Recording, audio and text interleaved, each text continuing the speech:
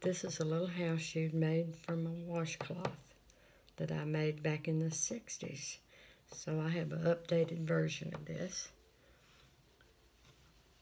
What you need is either a washcloth 11 by 11 or a piece of fleece 11 by 11.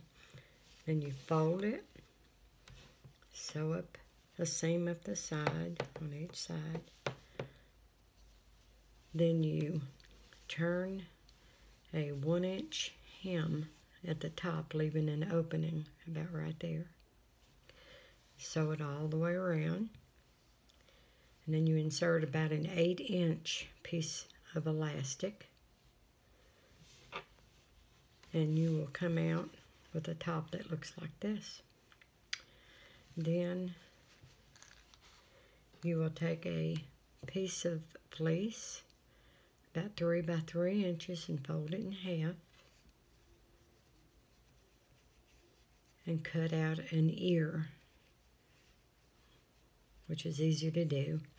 And then you put the shoe back on the machine and attach your ears and making sure you measure that they're both even from that front seam. And you can add wiggle eyes or you can add buttons and you'll have a little pair of house shoes for a toddler. Thank you for watching.